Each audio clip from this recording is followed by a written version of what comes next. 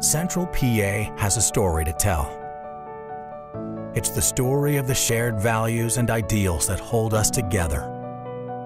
No matter who we are or where we came from, through the challenges we face or the hills we must climb, and reminds us we are not alone.